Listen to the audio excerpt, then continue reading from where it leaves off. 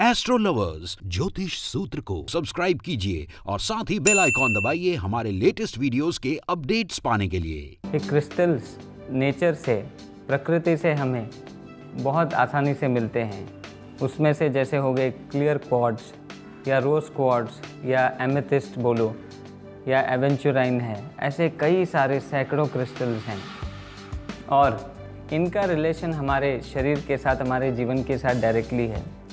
जैसे कि आपने सुना होगा या पढ़ा होगा स्कूल टाइम में या कॉलेज टाइम में क्रिस्टलाइन स्ट्रक्चर्स होते हैं।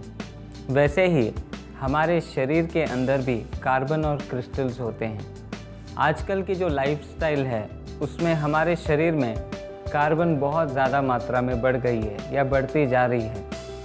वो इसलिए क्योंकि हम जंक फूड्स खाते हैं, ज़्यादा रेडिएशंस में रहते हैं और पोल्यूशन है हर जगह। तो हर तरीके की पोल्यूशन से बॉडी कार्बन एब्जॉर्ब जल्दी कर लेता है।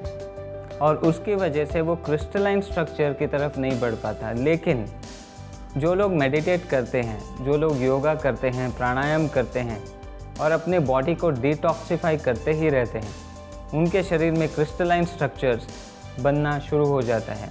और जब क्रिस्टलाइजेशन की तरफ़ हम बढ़ते हैं तो हमारी जो इनफाइनाइट कैपेबिलिटीज़ हैं पोटेंशियल हैं या इनर स्ट्रेंथ है, वो पूरी तरीके से ऊपर उठना शुरू हो जाती है।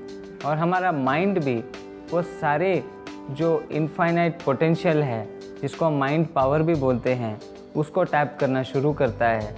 तो जो काम एक इंसान के लिए बहुत मुश्किल होता है, और जो क्रिस्टलाइजेशन की तरफ़ बढ़ते हैं अच्छी लाइफस्टाइल के कारण, अपनी प्रैक्टिसेस की वजह से, वो उसी काम को बहुत आसानी से कर लेते हैं। क्रिस्टल्स हमें प्रोटेक्ट भी करते हैं, क्रिस्टल्स हमारे हर काम को आसान भी बनाते हैं, क्रिस्टल्स हमें एक प्रॉस्पेरिटी की तरफ़ भी ले जाते हैं। प्रॉस्पेरिटी का मतलब हो गया कि हेल्थ वेल्थ सक्सेस अबंडेंस सभी कुछ उसमें आ जाता है ओवरऑल प्रॉस्पेरिटी अब देखिए इंडिया के बेस्ट एस्ट्रोलॉजी एक्सपर्ट पूरे वीडियोस देखने के लिए गूगल प्ले स्टोर पर डाउनलोड करें astrology TV app Amazon fire stick पर डाउनलोड करें astrology TV app Airtel DTH पे सब्सक्राइब करें एस्ट्रोवाणी चैनल डिश टीवी और डी पे सब्सक्राइब करें ज्योतिष दुनिया